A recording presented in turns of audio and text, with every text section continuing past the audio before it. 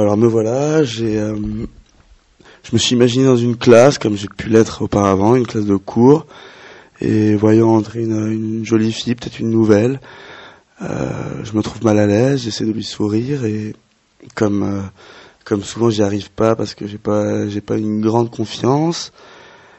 Alors voilà, on va essayer de continuer à sourire, réfléchir à comment aborder la personne. Toujours un peu compliqué.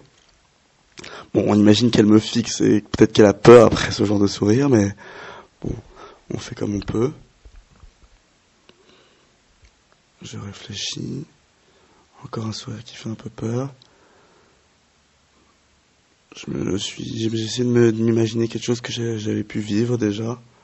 Bon, il y a un petit moment parce que j'ai arrêté les cours, mais c'est le genre de choses que j'ai pu euh, déjà ressentir. Voilà, mon plus beau sourire.